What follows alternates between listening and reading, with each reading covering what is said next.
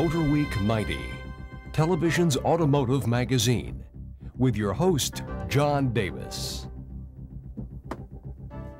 Well, hello and welcome again to Motor Week 90. We're glad to have you with us. In 1935, the Toyota Automatic Loom Works, that's right, Loom Works, decided to get into the car business. Their first automobile was a blatant copy of the Chrysler Airflow. Their second model bore an uncanny resemblance to a Volvo PV60. Well, this is Toyota's latest product, the Previa. It's designed to compete with minivans from GM, Ford, and Chrysler, and it's not a copy of any of them. In fact, the Previa offers a few solutions to minivan problems that Detroit probably wouldn't even consider. The fact that the Toyota Previa is unconventional is obvious at the very first glance. Toyota has taken today's trend towards rounder, smoother van shapes to its logical extreme, producing a body that has been compared to everything from an egg to a football. But don't let the bullet shape fool you. At 68.7 inches tall and almost 71 inches wide, the Previa is not small. It rides on a 112.8-inch wheelbase that only stretched Chrysler and Ford Aerostar vans can beat. The generous size carries over to the inside, with a large, exceptionally modern cockpit. The interior's most striking feature is the large, protruding center dash section that houses the stereo and climate controls, and even a fuse panel. It looks like it belongs in a spaceship, and includes a glove box as deep as a black hole. Climb aboard and you'll find a set of firm, supportive bucket seats. Both our LE's front and optional middle rows of bucket seats are adjustable, and both head and legroom are substantial. Rather than take the accepted route to more cargo space with removable rear seats, Toyota engineers hit on the novel idea of having them fold up and out of the way. This method adds a great deal of convenience, but when you need maximum cargo room, they are hard to take out. Getting back to the cockpit area, we find the unique dash housing a rather unique set of gauges. While large and well marked, the cluster is also sparse, and the deep tunnel at rest end led some of our staff to complain of trouble focusing on the instruments. The heat and stereo controls are easy to reach in their protruding pod, and the optional 150 watt compact disc player produced enough bass to rattle the Previa's rear body panels. While we're up front, we might as well take a look for the engine. Surprise, it resides under the front seats. Toyota placed the 2.4-liter four-cylinder here to improve the Previa's weight distribution and wet road traction over that of other rear-drive vans. With 16 valves and dual overhead cams, it produces 138 horsepower and 154 pound-feet of torque. Look where the engine usually goes, and you'll find everything needed for normal maintenance. Those clever Toyota engineers routed everything up here, including an oil reservoir. It adds to the crankcase when needed.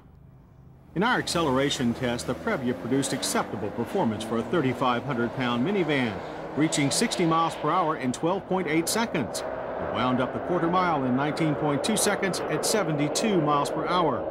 About 20 more horsepower would be nice, though what is there comes on quickly and remains constant through the power band. The four-speed automatic transmission produces crisp shifts, and our test drivers complained of a long delay between them. Despite its aircraft-like appearance, the Previa handles like many other vans. Front plow is heavy and increases with speed, as does body roll. The power-assisted rack and pinion steering is quick for a van, but slows as tire scrub and body roll increase. Emergency maneuvers feel almost lethargic, with the Previa using up all of the available road on its recovery. The brakes on our LE grade Previa are four-wheel discs that bring it to a stop from 60 and an average distance of 125 feet. There is some rear lockup and slight fade, but pedal feel is good, making it easy to maintain control. While four-wheel anti-locks are available as an option on LE grade vans, the base deluxe grade uses drum brakes at the rear. Off-track, the Previa displays a comfortable highway ride. Interior sound measures a reasonable 69 decibels. Mileage is EPA rated at 18 city, 21 highway. We got 19 miles per gallon on our mixed test loop. Previa prices start at $13,998 for the deluxe trim level.